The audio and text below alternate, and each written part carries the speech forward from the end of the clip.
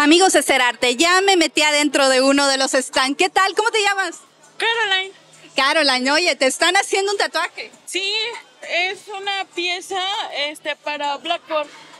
Ok, oye, ¿y cómo fue que te inspiraste, que dijiste, ese diseño quiero? Es que de hecho es mi marido, entonces este lo fuimos diseñando a mis gustos. Sí, sí, sí.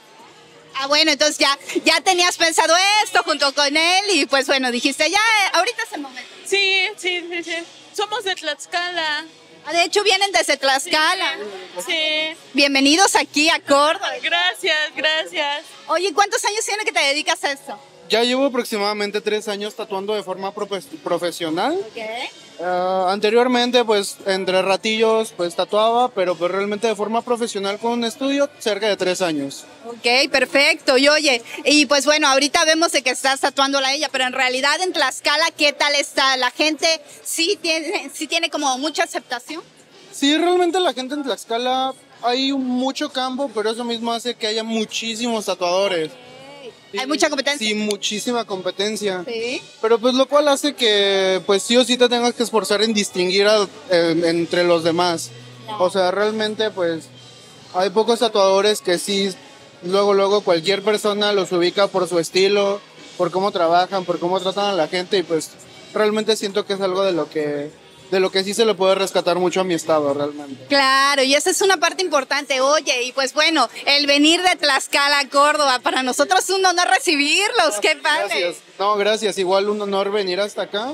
Como tal, pues es de las primeras veces que salgo de mi estado para tatuar y pues realmente es, para mí pues es un honor porque pues habla ya un poco más de la trayectoria que estoy generando como tatuador. Claro, y este es un evento que ya tenía mucho tiempo que no se llevaba a cabo y nuevamente volvió a reunir a muchísimos tatuadores. Sí, así es, es lo que, es lo que vi y pues realmente pues esperemos lograr un, muy buen resultado con la pieza que estamos trabajando y pues obviamente la experiencia que me llevo de aquí, la acogida que pues tengo familia aquí en Orizaba y pues realmente de Orizaba a Córdoba pues es mucha la cercanía y realmente estoy muy muy muy contento con haber venido. Perfecto. Oye, para terminar, ¿cómo ves la comunidad de tatuadores aquí en la región? No, realmente por lo que veo está muy bien. Hay muchísimo nivel también.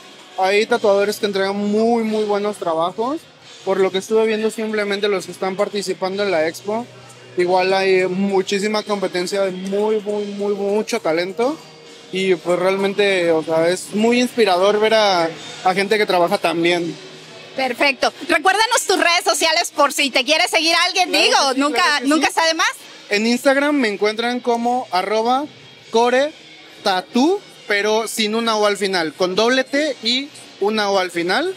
Y en Facebook estoy como Jorge Anel DLS. Perfecto. Bueno, amigos, ya saben, si andan por la escala, pues ya contáctelo o cualquier cosa y visite su galería y chequen sus redes. Claro que sí, estoy para servirle. Continuamos con más en Ser Arte.